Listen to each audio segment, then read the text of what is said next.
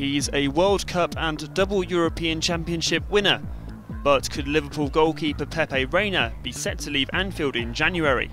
Reds boss Brendan Rodgers is said to be keen on bringing in a long term replacement for the Spanish shot stopper, with England's Jack Butland and German youngster Ron Robert Zieler top of the wish list. 30 year old Reina has missed part of the season with a hamstring injury, and number two Brad Jones has failed to convince in his place.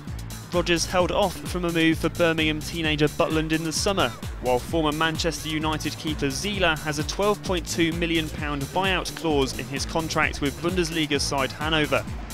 A possible next destination for Reina might be Arsenal, which could open up the possibility of some sort of deal involving Gunners striker Theo Walcott. Arsene Wenger tried to bring the keeper to the Emirates Stadium two and a half years ago. Rodgers does indeed seem intent on bolstering his attacking options, with Luis Suarez having scored more than half of their 19 league goals so far this season. Chelsea's Daniel Sturridge is being lined up for a £12 million move as another option, while his England under 21 teammate Thomas Ince could also be set to return from Blackpool.